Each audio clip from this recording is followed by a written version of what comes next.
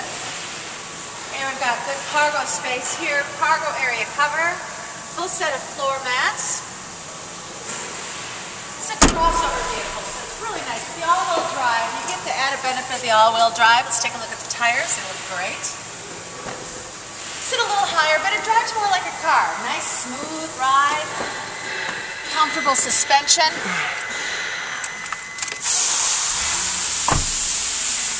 This vehicle does come with a factory installed stereo, dual zone climate control, cruise control, steering wheel audio controls.